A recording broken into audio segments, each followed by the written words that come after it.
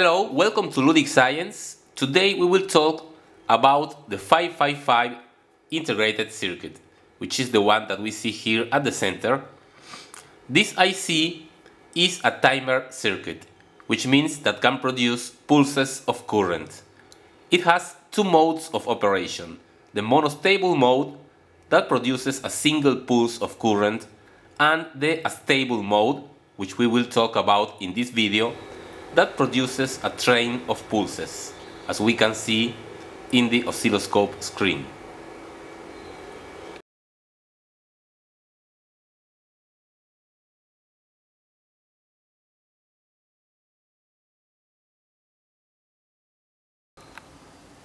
This is the diagram of connection of the 555 timer in astable mode.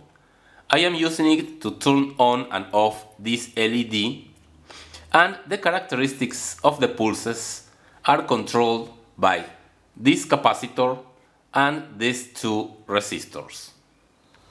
The train of pulses is composed of a series of square waves.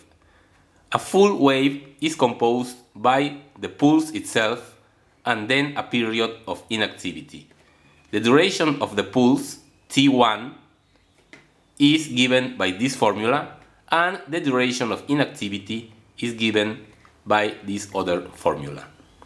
As you can see, T1 depends on both resistors and the capacitance, and T2 only depends on a single resistance and the capacitance of course.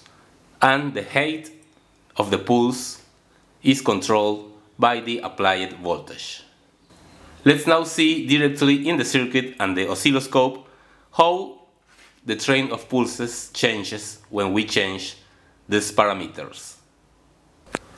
In the circuit I have two potentiometers to change the values of the resistance 1 and 2. And you can see the LED blinking.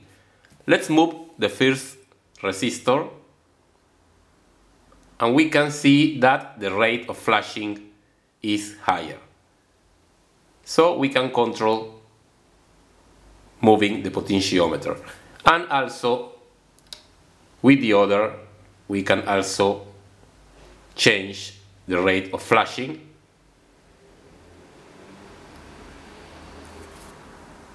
So adjusting the two potentiometers we can have control over the on and off times of the LED.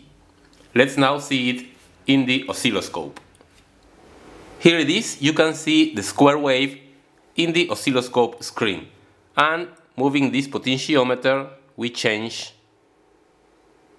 the form of the square wave.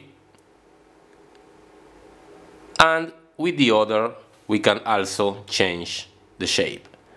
So for example, if we try to have a wave that has 50% on time and 50% downtime, we can adjust both potentiometers until we get the values that we are looking for.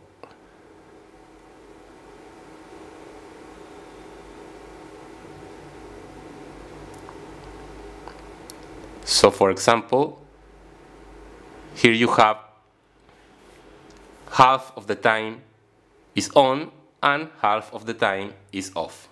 So in this wave you can create the square wave that you need for your application. Okay, so this is the basic configuration for the 555 timer as an astable multi-vibrator. Of course, there are hundreds of applications of this IC. And in the next videos, we will see some of them. Thanks for your visit and see you in the next one.